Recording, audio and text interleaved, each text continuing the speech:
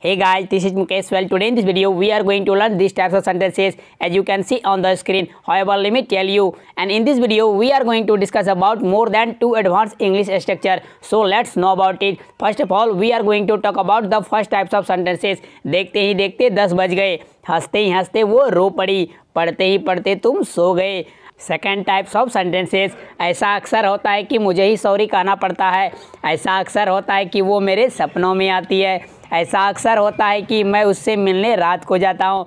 Well dear दोस्तों, आइए सबसे पहले बात करते हैं हम लोग। पहले तरह के सेंटेंस के स्ट्रक्चर को।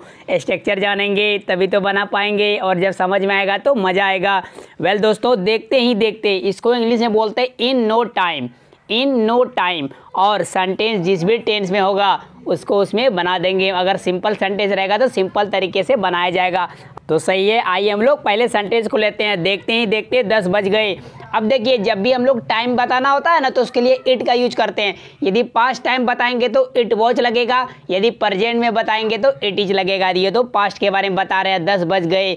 It was ten o'clock it was ten o'clock in no time देखते ही देखते क्या लगाएँगे? इन नो टाइम ठीक है? तो हो गया सेंटेंस डन आइए नेक्स्ट सेंटेंस को देखते हैं. वेल दोस्तों नेक्स्ट सेंटेंस में कहता हँसते ही हँसते या हँसते हँसते, पढ़ते ही पढ़ते या पढ़ते पढ़ते, जब दो वर्ब एक साथ आए तो उसको बनाते हैं वाइल प्लस वर्ब का चौथा फॉर्म से इट मीन दैट वाइल के साथ भी फोर लगा देंगे आई फॉर्म लगा देंगे जरन फॉर्म लगा देंगे तो ये बन जाएगा.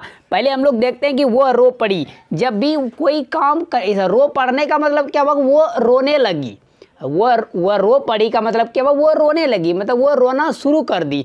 तो इसको इंग्लिश में बनाते हैं। ऐसे सेंटेंस को बनाने के लिए हम लोग यूज़ करते हैं। Subject plus started plus verb का चौथा form it mean that ING form आप इसको बिगिन टू बिगिन टू होता है बिगिन टू का क्या होता है? बिगेन टू भी टू लगता है क्योंकि पास्ट इंडेफिनिट टेंस का सेंटेंस तो बिगेन टू प्लस वर्ब का फ़र्स्ट फॉर्म यदि बिगन टू से बनाएँगे तो वर्ब का फ़र्स्ट फॉर्म लगेगा। यदि स्टार्टेड टू से लगाएँगे तो वर्ब का चौथा फॉर्म लगेगा। उसके बाद क्या करेंगे? वाइल प्लस भी फोर लगा देंगे। इस सेंटेंस को बनाते हैं, हँसते हँसते वो रो पड़ी she started crying she started crying while laughing she started crying while laughing next sentence पढ़ते ही पढ़ते तुम सो गए you slept you slept while reading you slept while reading आइए हम लोग सेकेंड टाइप के सेंटेंस को देखते हैं।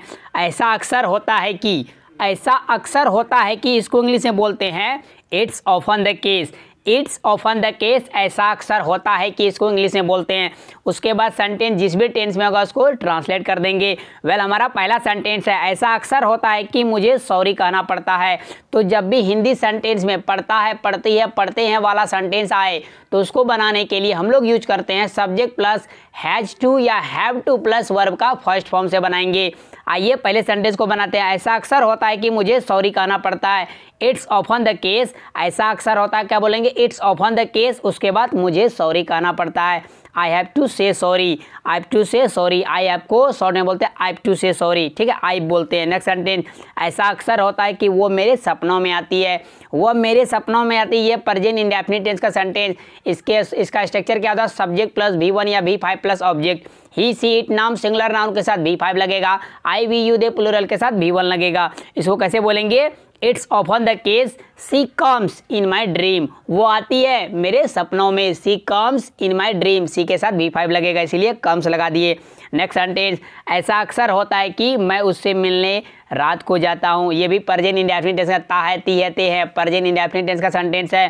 It's often the case I go to meet him at night it's often the case I go to meet her at night यदि लड़की रहेगी तो हर लगा देंगे, लड़का रहेगा तो हिम लगा देंगे। चलिए हम लोग, पहले सेंटेंस मैंने हिम बोला, बाद में हर बोला। चलिए हम लोग हर मानते हैं, क्योंकि मैं तो लड़का हूँ, किसी लड़की से ही मिलने जाऊँगा, इसीलिए हर लगा देंगे। वेल दोस्तों, आपको ये वीडियो कैसी लगी? यदि अच्छी लगी तो एक लाइक कर दीजिए, साथ ही साथ मेरे चैनल को सब्सक्राइब कर दे और सब्सक्राइब बटन पर एक बेल आइकन दिख रहा होगा, उसको वेट कर ले ताकि मेरा हर एक लेटेस्ट वीडियो की नोटिफिकेशन बिल्कुल टाइम पर मिलती रहे और आप डेली कमाल के इंग्लिश स्ट्रक्चर सीख सके और नए नए वर्ड सीख सके। Thanks for watching video friends